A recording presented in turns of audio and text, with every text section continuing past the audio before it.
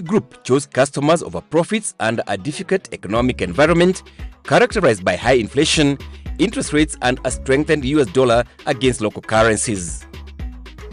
Group Managing Director and CEO Dr. James Mwangi said the group opted to absorb the interest expense cost increase instead of passing it over to the customers.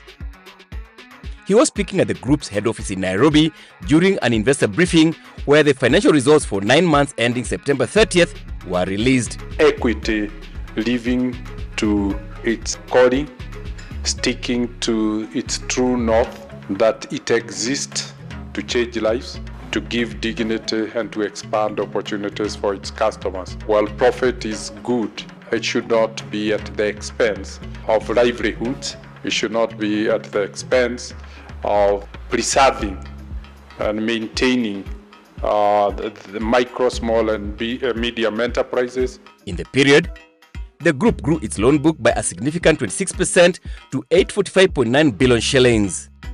Profit after tax grew by 5% to 36.2 billion shillings, up from 34.4 billion shillings.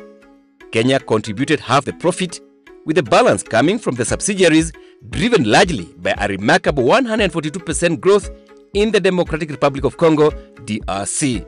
Why diversify capital from Kenya to markets with uncertainty? We took a long term view, but we have been validated. That was the best decision we ever made for this group. Because if you look at uh, DRC, we see profit growing at 157%. DRC is 60% of uh, Kenya in terms of assets. Again, uh, DRC stands tall uh, compared uh, uh, to Kenya. Uh, when you look at profit, DRC now filling the gap. But we also see Tanzania, Rwanda, and Uganda following that trend significantly. Picking the lessons learned from the COVID 19 global health pandemic, when the group saved thousands of customers by rescheduling 45% of its loan book, the group decided not to transfer the full effect of economic shocks to customers. The bank with a human face, a bank with a human soul. It's not all about profitability. You can choose customers over profitability. You've made profit for many years from those customers. When customers need you most, you start with them. The long term strategic pursuit of geographical expansion and diversification continued to deliver impressive results.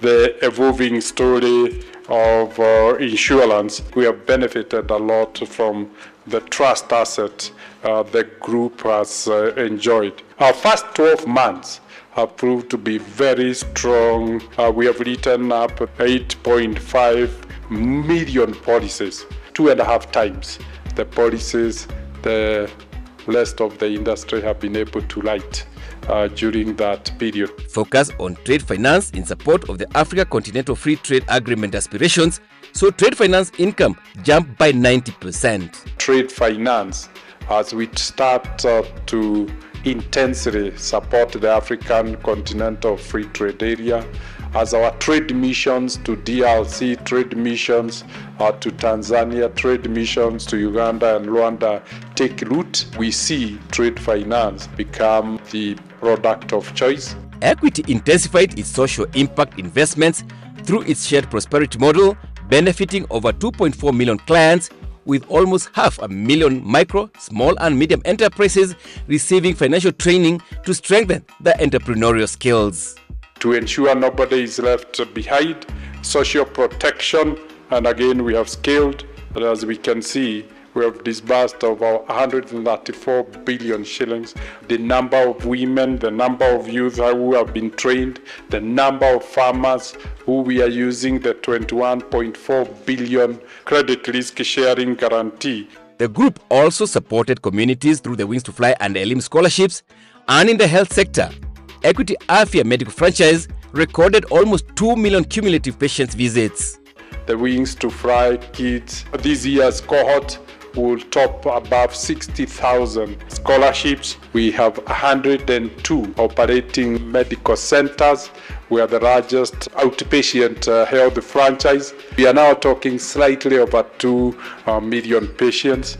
uh, we have been able to see through Equity Afya. The brand, recognized as the fourth strongest financial brand globally by Brand Finance, continued to grow, registering superior performance to be ranked 14th best performing bank in Africa by the Africa Report. Like we did when we allocated capital to the subsidiaries, we have taken a long term view. And the long term view is support the customer to survive